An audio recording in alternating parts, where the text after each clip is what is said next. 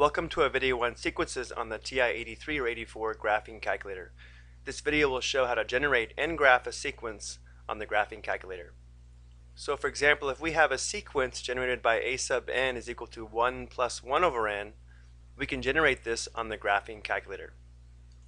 The first thing we should do is put our graphing calculator in sequence mode. If we press the mode key, if you look at the fourth row, this last option, SEQ, is for sequence mode. Let's go ahead and do that. So just move the cursor down there and highlight sequence, press enter, and then we can go ahead and go back to the home screen. Let's show how we can generate the first 10 terms of the sequence from the home screen.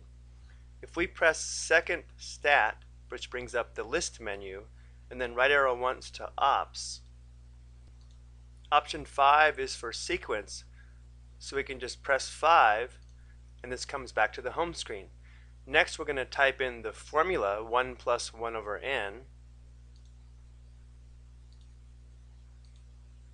Now when we press the variable which is normally x it will now be n because we're in sequence mode comma and then we'll press n again for the variable used for the formula comma we want n to start at 1 comma, and end at 10. Close parenthesis, and when we press enter, the calculator is showing the terms in the sequence. Notice there's more terms on the right, so we'd have to press the right arrow to see more terms. Now one thing we notice right away is that these are expressed in decimal form. If we want the terms to be expressed in fraction form, we can press math, enter, enter, and then the terms will be in fraction form.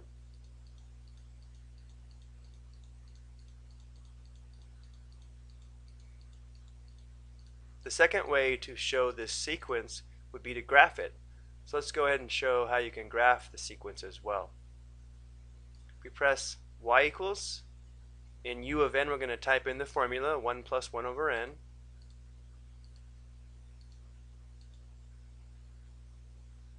we can see that n is going to start at 1. So let's go ahead and press graph. Notice from this window we're not getting a good picture of the sequence. So let's go ahead and press window. Notice n is going to go from 1 to 10. It's going to start at 1 and go by 1. That's good. But notice the x-axis goes from negative 15 to positive 15. Let's change this from negative 2 to, let's say, 11. And then for the y minimum, y maximum, we know that the values in the sequence aren't very large. Let's go ahead and have the y minimum of negative 1 and the y maximum at 2. So you may have to play around with these values to get a nice graph of the sequence. Now if we press graph, notice we have a much better graph of the sequence. And if we press trace from here, it'll show us the coordinates of each point. Remember that the x coordinate would be n and the y coordinate would be the term in the sequence. So when n is equal to 1, the sequence would generate the term 2. And we can see here if we let n equal 1, we'd have 1 plus 1, which is equal to 2. Now if we press the right arrow, we can view each term in the sequence. Now it will be expressed in decimal form here, and there's not much we can do about it from this view.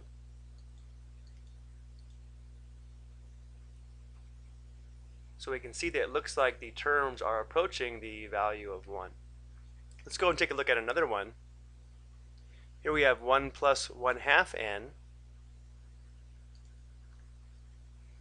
Go back to the home screen. Let's clear this and review it one more time. We're going to press second list, right arrow once to ops, press option 5 for sequence, type in the formula. So we have 1 plus 1 half n.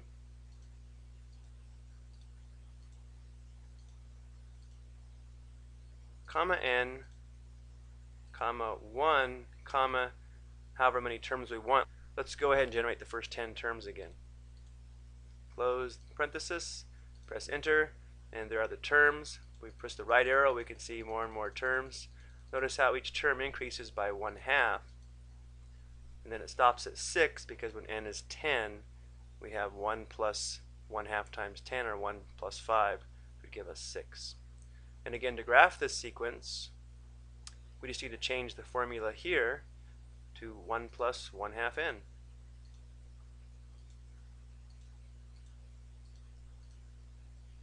and then press graph. And notice again we should adjust our window. We just saw the last term in the sequence if we have 10 terms was 6. So we need to increase our y maximum.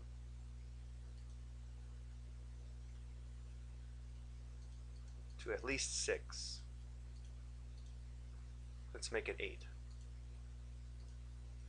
Here we can see that the value of each term increases without bound. Okay, that's going to do it for using the graphing calculator for sequences. I hope you found this video helpful. Thank you for watching.